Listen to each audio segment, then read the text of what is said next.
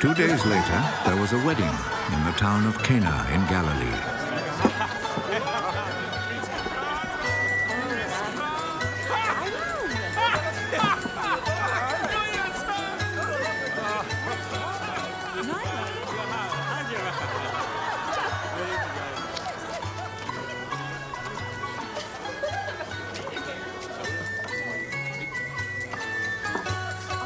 Jesus' mother was there.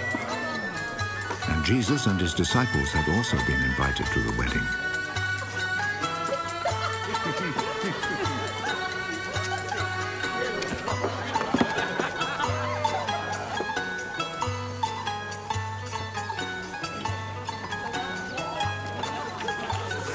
When the wine had given out, Jesus' mother said to him, They are out of wine. Madam, what do you have to do with this? My time has not yet come.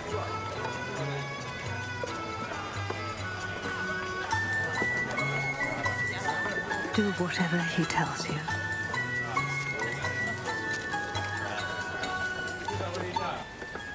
The Jews have rules about ritual washing, and for this purpose, six stone water jars were there, each one large enough to hold between 20 and 30 gallons. Fill these jars with water.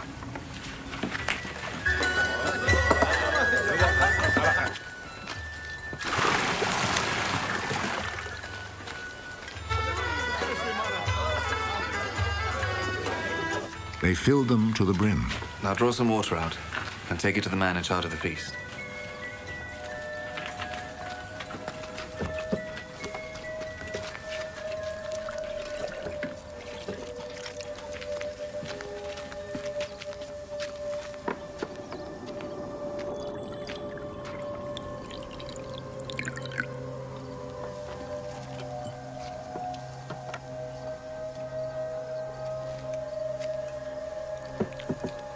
They took him the water, which now had turned into wine, and he tasted it.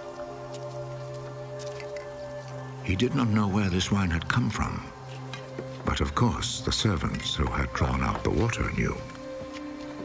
So he called the bridegroom. Everyone else serves the best wine first, and after the guests have drunk a lot, he serves the ordinary wine. But you have kept the best wine until now.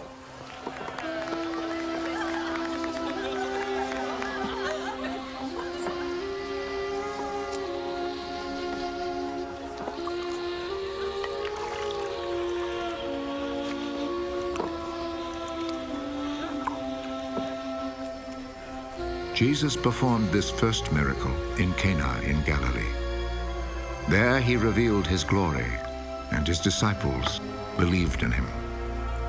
After this, Jesus and his mother, brothers, and disciples went to Capernaum and stayed there a few days.